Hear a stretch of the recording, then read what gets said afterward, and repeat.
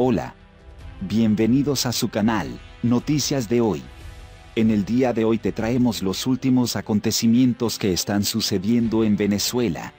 Antes de empezar te pido que te quedes hasta el final, y déjanos saber lo que opinas en los comentarios. ¿Tuntún? Tic-tac, la respuesta de Juan Guaidó a las amenazas de Nicolás Maduro. El presidente interino de Venezuela, Juan Guaidó, respondió, a través de su cuenta en Twitter, a los dichos del dictador Nicolás Maduro, quien había lanzado una enigmática amenaza, hasta a ti que me ves. Hasta a ti te va a llegar. ¿Crees que no te va a llegar? A ti te va a llegar la justicia cuando te toque el tun no te pongas a llorar por las redes sociales.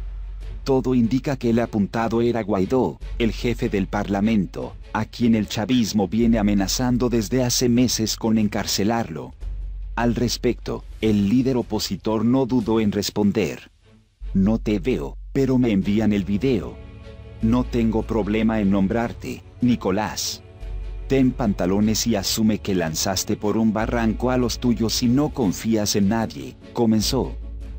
Y agregó, acepta la oferta de la comunidad internacional y se salva el país.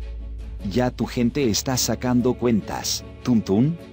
Tic-tac luego del pasado jueves, cuando el Departamento de Justicia de Estados Unidos presentó los cargos contra Maduro, la justicia chavista abrió una investigación contra Guaidó, a quien acusan de haber pedido esas medidas durante su última gira internacional por Norteamérica y Europa.